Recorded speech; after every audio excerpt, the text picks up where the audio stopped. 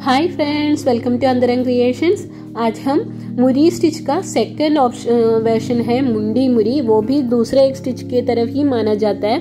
तो मुंडी मुरी या गोल मुरी बोलते हैं क्योंकि वो उसके टिप में थोड़ा गोल गोल शेप में आता है, इसलिए। नॉर्मल मुरी स्टिच तो ऐसे स्ट्रेट स्ट्रेट ऐसे एक बासमती राइस की शेप में ही होता है, लेकिन मुंडी मुरी या गोल मुरी क्या है, उसके टिप में थोड़ा गोल गोल आता है। तो स्टिच सेम वो मुरी स्टिच की तरह ही करना है, लेकिन उसके टिप में थोड़ा चोट के मतलब वो बीच में हमने एक लाइन स्टिच किया था, उसके थोड़ा पहले मैंने, हमने नस्तिक नस्तिक किया था, इधर क्या है, ऐसे टॉप में थोड़ा दूर दूर, थोड़ा ही, ज़्यादा मत करना, पहले थोड़ा ऐसे करके, फिर नीचे नीचे आने तक, ऐसे वो लाइन के आसपास करके करके ही स्टिच करते हैं।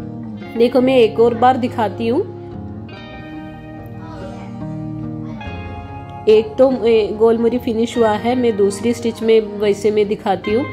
देखो, ऐसे एक लाइन में ही करते लेकिन देखो, ऐसे एक शेप में आना चाहिए। ऐसे राउंड ऐसे एक टीयर ड्रॉप की तरह हम ड्रॉ करेंगे तो वो उसकी बॉर्डर से, देखो, उस बॉर्डर में ही ऐसे करके करेंगे तो वो अच्छे से मुंडी मुरी या गोल मुरी स्टिच आ जाएगा।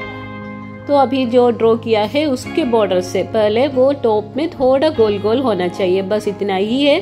मुंडी मुरी बहुत प्यारा सा स्टिच है। मैं सब स्टिच में वही बोलती हूँ, मुझे बहुत चिकनकारी जो भी स्टिच है, सब स्टिच मुझे अच्छा लगता है। तो इतना ही है वीडियो। आप लोगों को अच्छा लगा तो please subscribe. And thanks for watching